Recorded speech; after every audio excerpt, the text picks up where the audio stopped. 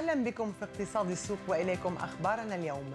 على أبواب الأعياد الكل يطالب بخطة اقتصادية إنقاذية للبنان من تجمع رجال الأعمال إلى جمعية الصناعيين اللبنانيين.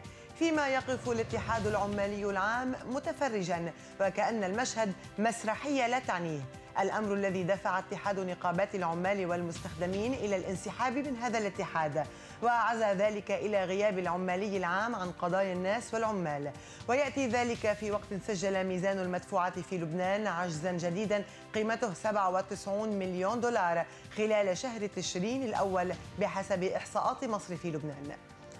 هل ستهز الهاوية المالية عرش الاقتصاد الأمريكي أخيرا؟ سؤال يطرح مع تزايد التحذيرات للولايات المتحدة من الاستمرار بعدم إقرار ميزانيتها وآخر تحذير أطلقته مؤسسة فيتش للتصنيف الائتماني التي أكدت احتمال فقدان أمريكا تصنيفها كاقتصاد لا تؤثر فيه المخاطر المالية إذا لم تتوصل لاتفاق قبل نهاية العام الحالي يحول دون خفض الإنفاق وزيادة الضرائب بما قيمته 600 مليار دولار.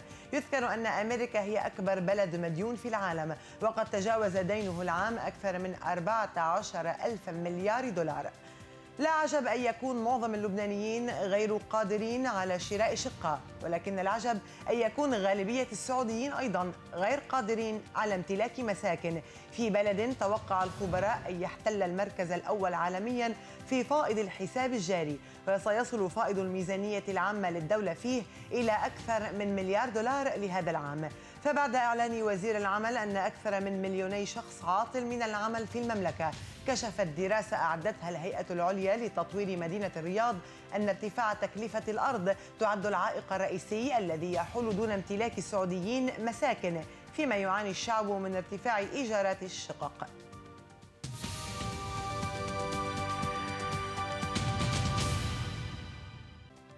ارتفع سعر الذهب اليوم لكن الغموض الذي يحيط بمحادثات الميزانية الأمريكية أبقى الأسواق في حالة من القلق. وفي لبنان سجلت الأسعار التالية. عيار 22 49 دولار و45 سنت. عيار 21 47 دولار و21 سنت.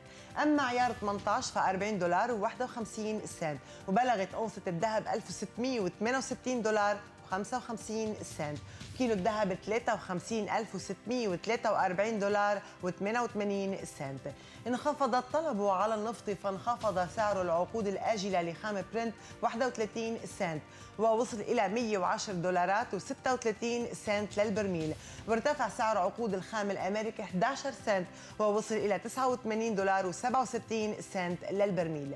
هذا كل شيء ملتقانا غدا في اقتصاد السوق من لبنان. إلى العالم.